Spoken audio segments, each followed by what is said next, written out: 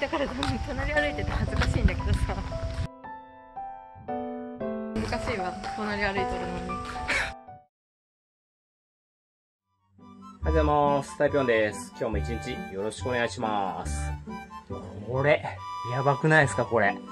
あの、首掛けタイプの扇風機なんですけど、アマゾンで1500円ぐらいで買っちゃいました。いやー、これめちゃめちゃいいんですよ。案件動画みたいに見えるんですけど、案件じゃないですよ、これ。自腹で買ったんで、案件ください。よろしくお願いします。これ、首元にスイッチがあって、これで LED のオンオフっていうか、色を変えたりすることができて、あと、同じくここに風量をね、調整するスイッチがあって、3段階風量調整できるんですけど、めちゃめちゃ風来るんですよ。これ風量3ですけど、今オフで、これ風量1、風量2、風量3なんですけど、これめちゃくちゃいいんですよ。その、当然風が来るんで涼しいっていうのもあるんですけど、あの、手が空くじゃないですか。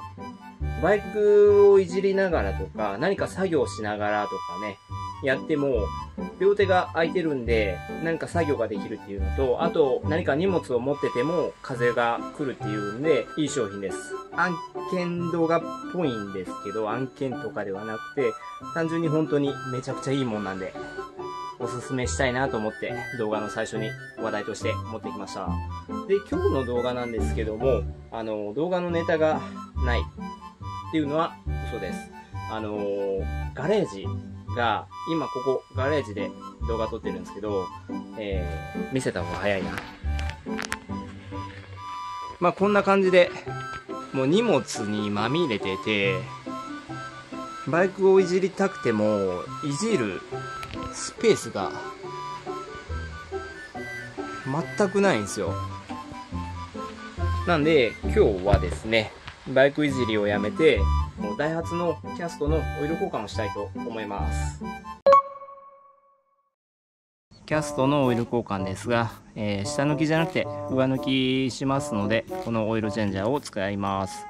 上抜き用のオイルチェンジャーでございます。オイルはこちら。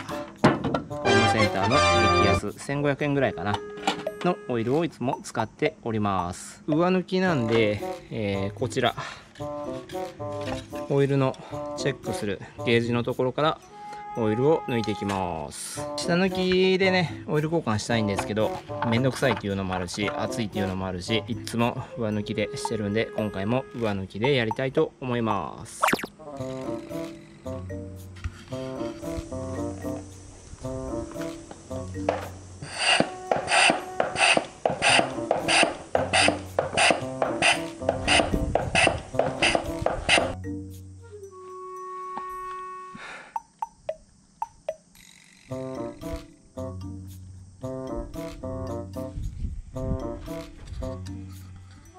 オイルが抜けてます。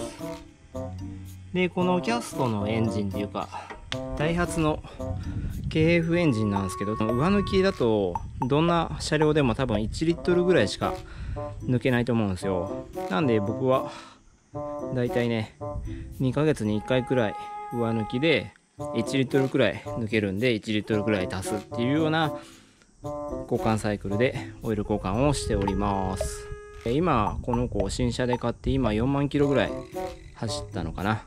でまた後日キャストのレビュー動画等も作ってみたいと思うんですけどもなかなかいいエンジンだと思います。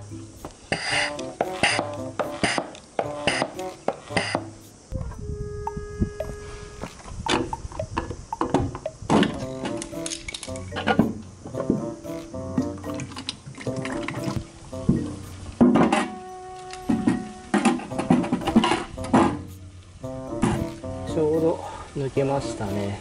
今シュシュシュシュシュって言ってますな。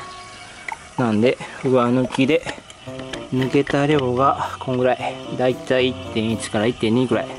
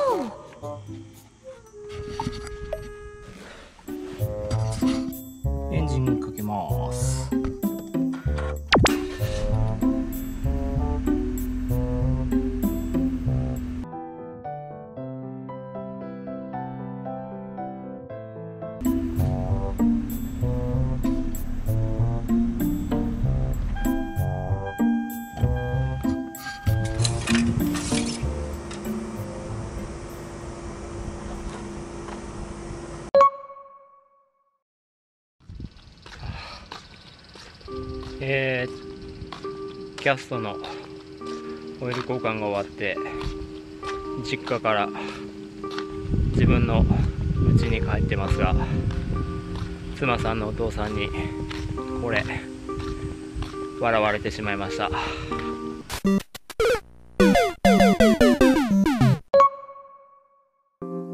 うこれかっこよくない？えそうさ光り方がうん実に品がないんだけど大丈夫？アマゾンで1500円で買ったんだけど。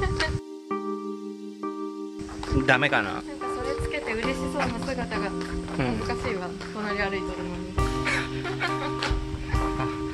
ああそうですか。ちょっとその光とか止めれんの？いや止めれる。けどなんかレインボーに光ってるやんなんかちょっとジャンルがすごい違っ